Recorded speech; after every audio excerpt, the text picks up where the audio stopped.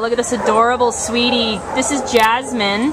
Her ID number is A4865804. Jasmine is a three-year-old female, uh, white, well, she is white, but she doesn't look it right now, um, poodle mix. And she came to the Baldwin Park Animal Care Center as a stray from El Monte on August 12th. Jasmine weighs all of seven pounds. It's not likely she's going to get much bigger. In fact, she might actually weigh a little bit less once she gets a proper groom and gets some of that dirt off of her, the poor girl.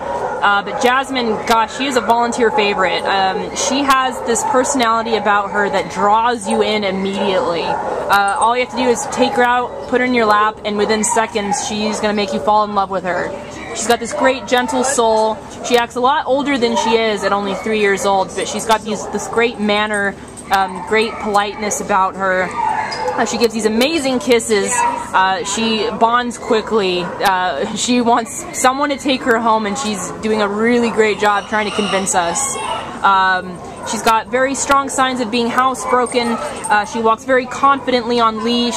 Uh, she has met with other dogs her size and gotten along very well with them. We haven't seen her around bigger dogs, but she's got such this such a gentle temperament. We don't imagine it'll be much of an issue meeting other dogs.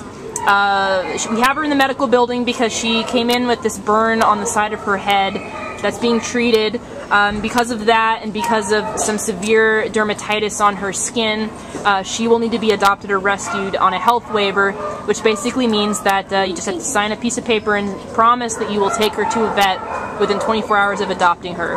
Because uh, she should get that burn checked out, um, and get some additional treatment and uh, get working on that dermatitis as well. It could be a matter of diet. Uh, she looks like she's been living it kind of rough on the streets for a while, so it could very well be diet or stress or fleas or something like that. Um, things that are usually uh, easily fixable and uh, inexpensive to work with.